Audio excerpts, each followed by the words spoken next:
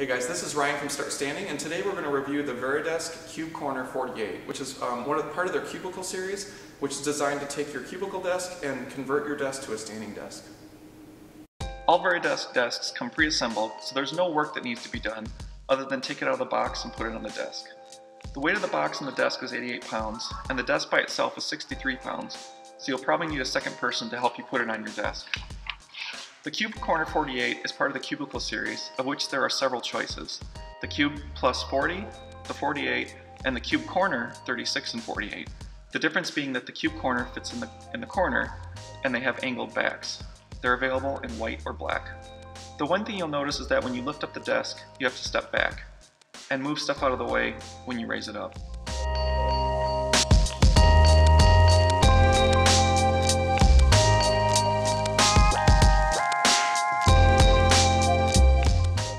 Desk has a 35 pound weight limit. If you're concerned about the weight limit, you can weigh your monitor or monitors and all the stuff that you keep on your desk. As with all Varidesk products, it's really stable and doesn't move much when you type, and your monitor will stay still. It's a really solid desk and feels really well built.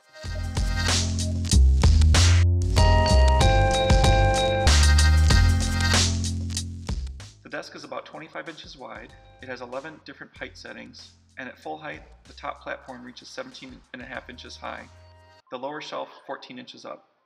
It's just under 4 feet wide, and it's almost 42 inches deep from the back to the front when extended, and 33 inches deep when in the bottom position.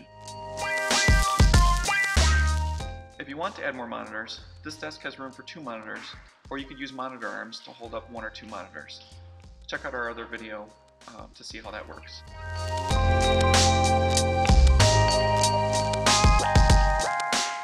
Lot of standing desk users experience fatigue with standing, and the standing de desk mats help a lot with this. Our favorite is the Topo, and we have a video on that as well.